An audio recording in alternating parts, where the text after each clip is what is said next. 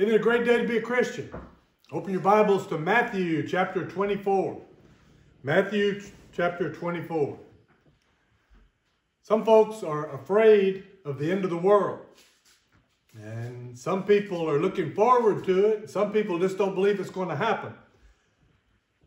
The question is, why is it that some Christians feel the same way? They're fearful for the Lord's return. And how should we think about Jesus coming back? So let's look at Matthew chapter 24. Begin reading in verse 36. Matthew writes, But of that day and hour knoweth no man, no, not the angels of heaven, but my Father only. But as the days of Noah were, so shall also the coming of the Son of Man be. For as in the days that were before the flood, they were eating and drinking, marrying and giving in marriage, until the day that Noah entered into the ark, and knew not until the flood came and took them all away, so shall also the coming of the Son of Man be. Then shall two be in the field, the one shall be taken, the other left. Two women shall be grinding at the mill, the one shall be taken, and the other left. Watch therefore, for ye know not what hour your Lord doth come. But know this, that if the goodman of the house had known in what watch the thief would come, he would have watched, and would not have suffered his house to be broken up. Therefore, be ye also ready, for in such an hour as ye think not, the Son of Man cometh. Excuse me. Who then is a faithful and wise servant whom his Lord hath made ruler over his household to give them meat in due season? Blessed is that servant whom his Lord, when he cometh, shall find so doing. Verily I say unto you, that he shall make him ruler over all his goods. But if that evil servant shall say in his heart, My Lord delayeth his coming, and shall begin to smite his fellow servants, and to eat and drink with the drunken, the Lord of that servant shall come in a day when he looketh not for him, and in an hour that he is not aware of, and shall cut him asunder, and appoint him as portion with the hypocrites. There shall be weeping and gnashing of teeth. There are days that can be scary. Uh, Friday night, if you were outside or even if you're inside close to a window, you could feel the wind, you could hear the, the noise as things were blowing, uh, the darkness, the clouds that were coming in. It was scary.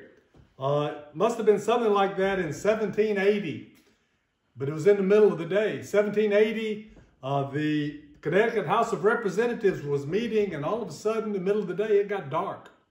In fact, it got so dark that they couldn't see. Uh, they didn't know what was going on. The clouds in the sky were just really ominous, and they decided that the end of the world was coming. And so somebody said, let's adjourn. We need to go home. It's the end of the world. And a man named Colonel Davenport stood up and he said this, the day of judgment is either approaching or it is not. If it's not, there's no cause for adjournment. If it is, I choose to be found doing my duty. Therefore, I wish that candles be brought. The world's going to end. It's going to end. Nothing we can do about it. Going home's not going to matter. If the world is not going to end, I want to be doing what I'm supposed to be doing. That needs to be our attitude. When the world ends, we need to be doing what we're supposed to be doing. There's still people that react that way. They're scared. They're afraid. They're worried about the second coming of the Lord. I confess to begin with, I never saw an episode of this, but I read about a, a series that was on NBC TV several years ago, uh, back about 2005. It was called uh, Revelations. And in this series called Revelations, it was a religious-based series. There was this nun named Sister Joe. And Sister Joe was investigating these strange phenomenon that she thought pointed towards the end time. Uh, the producer of the show uh, was interviewed by TV Guide, and he said this, so many people believe we have to save our souls right now. Sister Joe believes in Revelation, but she refuses not to have hope. She feels that humankind can come together and forestall the end of days. Okay, she wanted to forestall the end of days. She wanted to stop Jesus from coming. Uh, I'm not sure it works that way. I'm not sure there's anything we can do to keep Jesus from coming back. In fact, I don't think we can even do anything to slow him down. But the question is, why would, would somebody who claims to be a Christian want to do that? Why would they want to prevent Jesus from coming back? That's supposed to be our goal. That's why we're supposed to be living our lives anticipating that day when Jesus returned. But I think that the people that produced that show weren't doing it from a Christian perspective. You may not realize this, but the people at NBC TV are not a Christian organization. Uh, in fact, they probably feel if the world is going to end, if there is going to be judgment, if Jesus is coming back, if there is going to be a, a revelation that they're not going to be ready.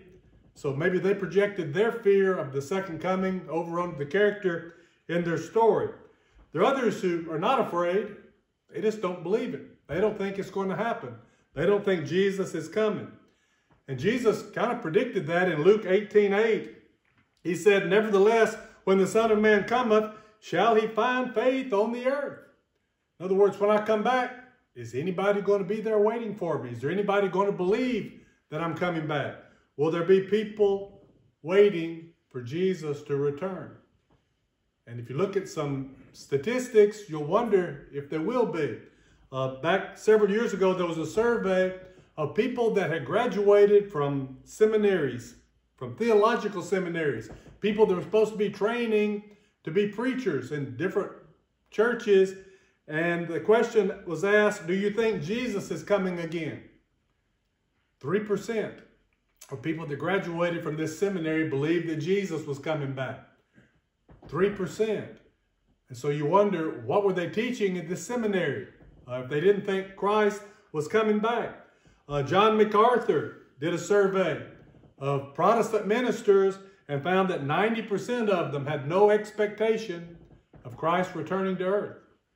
They didn't think he was coming again. Uh, they were kind of like the little four-year-old boy. He said, Mommy, uh, when do I get to go to heaven? And she said, well, son, uh, either when you die or when Jesus comes back. And the little boy said, he's coming back? You mean he's been here already?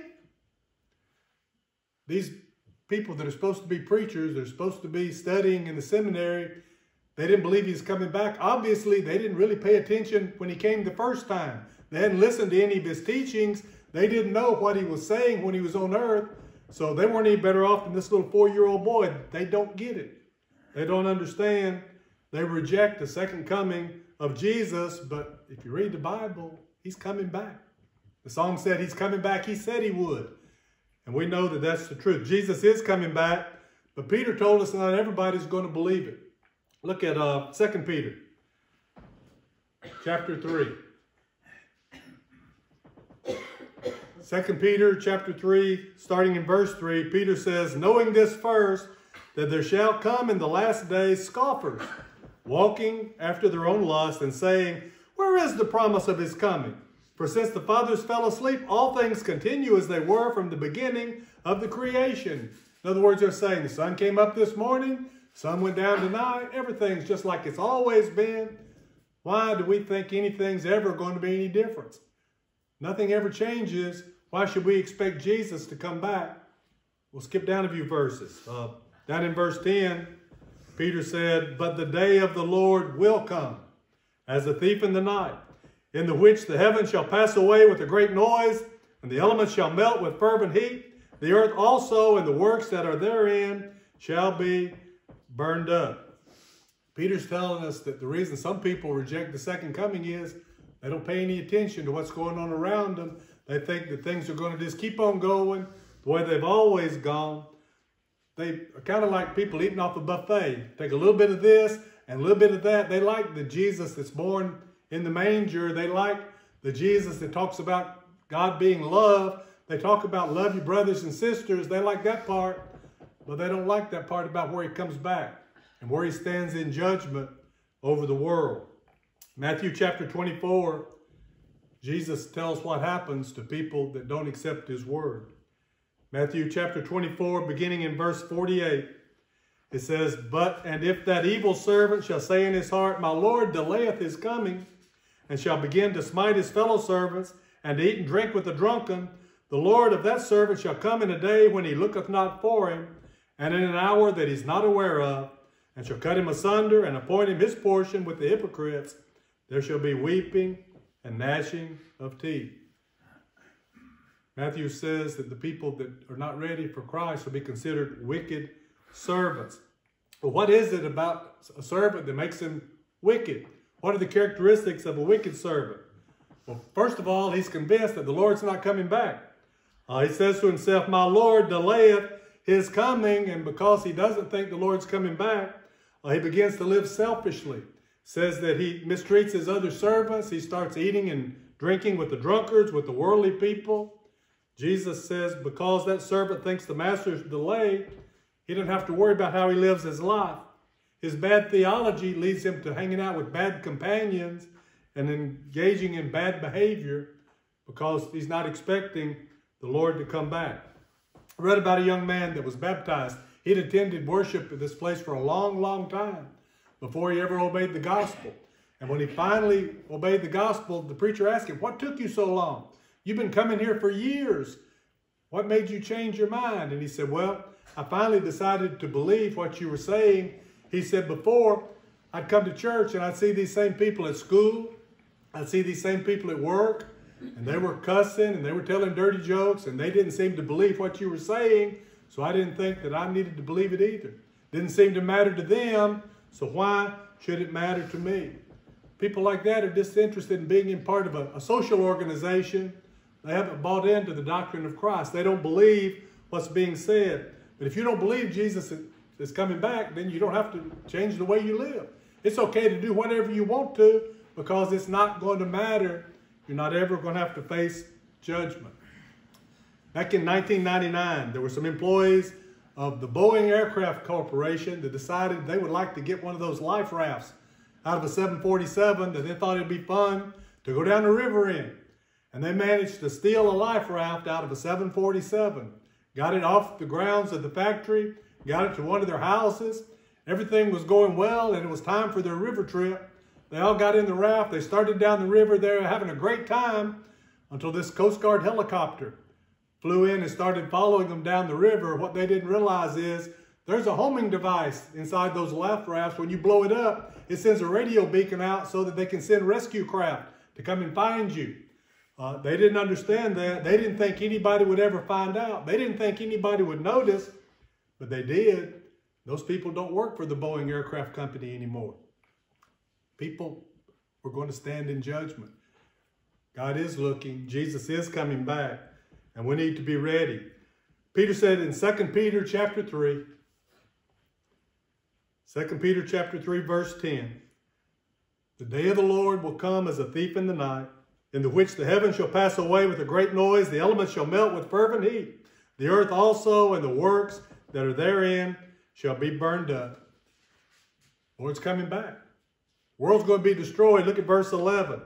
Seeing then that all these things shall be dissolved, what manner of persons ought ye to be in all holy conversation and godliness? God's going to send Jesus back. He's going to stand in judgment. Since that's going to happen, how should we act? What should we do? What kind of people should we be? How we believe determines how we live. If we think Jesus is coming back, then we'll live to be prepared when he comes back. If you think judgment is imminent, you're going to live a more holy life. That's what Jesus said in our original passage in Matthew 24. But the day and the hour knoweth no man, no, not the angels of heaven. Look at uh, Matthew 24, verse 37. But as the days of Noah were, so shall also the coming of the Son of Man be. For as in the days that were before the flood, they were eating and drinking, marrying and giving in marriage until the day that Noah entered into the ark, and knew not until the flood came and took them all away. So also, or so shall also the coming of the Son of Man be. Did Noah believe the flood was coming? Did he act accordingly? Noah thought the rains could come at any moment, so he wanted to make sure that he did what God told him to do. He spent every waking moment building the ark and preaching to anybody that would listen and trying to make sure that his family was safe inside the ark. How about the other people around Noah? Did they believe that the floods were coming? No, and they acted accordingly. Since they didn't believe what Noah was saying, they didn't pay any attention to his preaching. They went ahead and mocked and made fun of him. And when judgment came, when the waters came down, they all perished. They lost their lives and everything they had. But not Noah, because he believed in God, he was safe inside the ark. He believed God's promise, and he lived his life accordingly. He's like the good servant in Matthew chapter 24, verse 45. Who then is a faithful and wise servant whom his Lord hath made ruler over his household to give them meat in due season? Blessed is that servant whom his Lord, when he cometh, shall find so doing. Verily I say unto you that he shall make him ruler over all his goods. The faithful servant is one that took the master seriously. When the master told him what to do, he did it and he was prepared. People like that will talk to anybody that will listen about Jesus. They'll do everything they can to make sure that their family is safe. Uh, but we need to realize that Noah didn't build the ark because he was afraid. God didn't say, if you don't do this, I'm going to wash you away. God promised Noah that if he did what he told him to, that he'd be spared. Noah believed in that and he acted in faith. Noah was driven by a promise. And we have that same promise of salvation. Because Noah believed God's promise, he did what God asked him to do. He was saved from the floods. And that's what Peter tells us can happen to us in 1 Peter chapter 3. 1 Peter chapter 3, beginning in verse 18, Peter says this, For Christ also hath once suffered for sin, the just for the unjust, that he might bring us to God, being put to death in the flesh, but quickened by the Spirit, by which also he went and preached unto the spirits in prison, which sometimes were disobedient, when once the long suffering of God waited in the days of Noah, while the ark was a preparing, wherein few, that is, eight souls, were saved by water. The like figure whereunto even baptism doth also now save us, not the putting away the filth of the flesh, but the answer of a good conscience towards God by the resurrection of Jesus Christ, who is gone into heaven and is on the right hand of God, angels and authorities and powers being made subject to him. Noah was saved because he did what God asked him to do. He built an ark. But did God need a boat to save Noah? Couldn't God have just picked Noah up out of the off the ground and put him up in the clouds till after the flood was over? Couldn't he just set him on top of the highest mountain and let the floods come everywhere else besides there? God didn't need a boat to save Noah. The boat didn't save Noah. God saved Noah. It says that God closed the door and watched over them. But because Noah did what God asked him to do, he and his family were saved. Now, Peter tells us God's not asking us to build a boat. That's not how we get to safety, but he is telling us what he wants us to do. Uh, again, Noah wasn't motivated by fear. We don't need to be motivated by fear. We need to be motivated by God's promise. He's promised us if we'll do what he has to do, if we'll live the way he asks us to live, that he'll save us. He'll give us a home. Our salvation is not through a boat, but through baptism.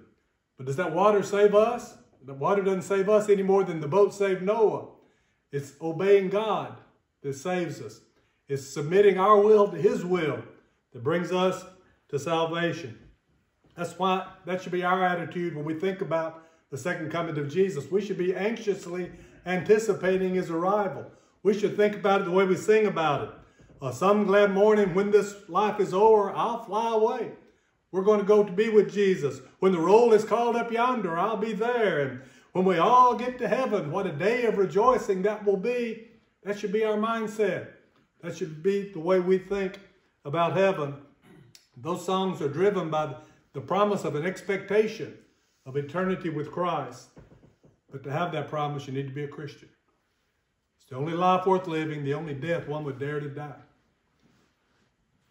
you are a Christian, have you forgotten that the Lord's coming back? Are we living lives that make other people think that we really don't believe what we're claiming to believe, that we're not living lives of expectation? Are we afraid of the second coming? Or do we really believe he's coming?